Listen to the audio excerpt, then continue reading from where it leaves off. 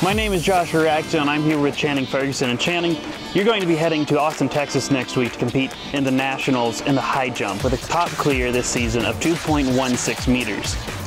But what does that look like exactly? Well, let's show you. That is what that looks like. You know, you can kind of see what that height looks like on its own, but what does it look like compared to some of the other things around campus? Let's stand up. How's it look? Yeah. You think so? Give it a shot. Yeah, probably one one day. Yeah. One day? Yeah. Okay. Oh yeah, I'm getting over that. You, did, you for sure? You think so? oh yeah. I think so. Look at that. That's what, like a couple of centimeters This thicker time than I an inch seven. Yeah. Okay, you're good.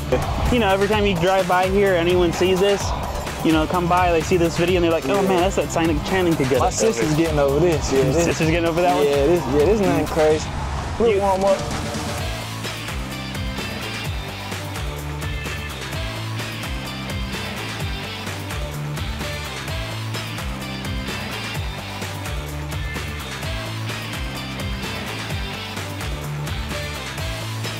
All right, well, you know, I think that that's about all the time that we have today. Thanks for joining us on a tour around campus to go see uh, exactly what, you know, Channing can clear if he wanted to try it. Um, you got some ideas to practice now, right? Yeah, Like, definitely.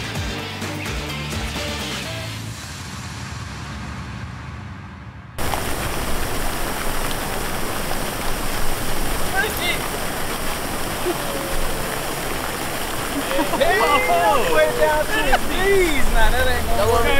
You gotta hold it up.